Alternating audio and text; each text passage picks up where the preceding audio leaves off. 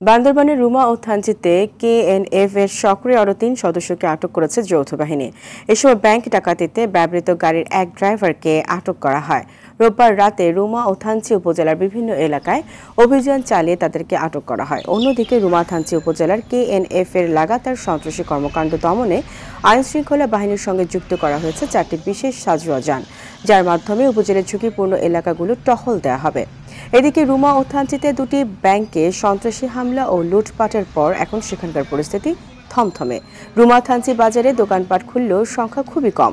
বন্ধ আছে রুমার ওয়াংছড়ি ও থানচি উপজেলায় ব্যাংকিং কার্যক্রম। তবে জেলা সদরে ব্যাংকিং কার্যক্রম পরিচালনা করা হচ্ছে। অন্যদিকে ঘটনায় জড়িতদের ধরতে চলছে যৌথ বাহিনীর অভিযান। এর আগে গতকাল ভোরে অভিযান চালিয়ে কেএনএফ এর কেন্দ্রীয় কমিটির অন্যতম প্রধান সমন্বয়ক চেউচিম বমকে গ্রেফতার করে র্যাব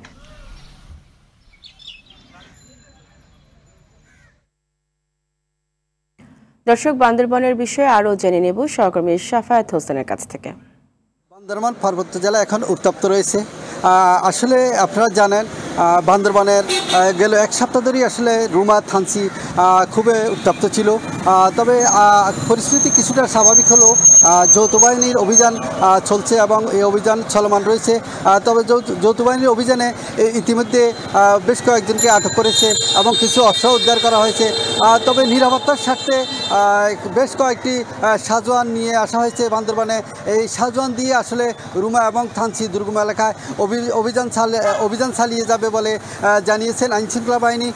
তবে পুলিশ সুপার সৈকত শাহিন শাহ জানিয়েছেন যে থানসি ব্যাংক ডাকাতির ঘটনায় একজন ড্রাইভার সহ কেএনএফের তিন সদস্যকে আটক করা হয়েছে। তাদেরকে আসলে জিজ্ঞাসাবাদ করে, করার পরে আসলে বিস্তারিত জানা যাবে। এই ছিল আসলে বান্দরবান থেকে সর্বশেষ খবর।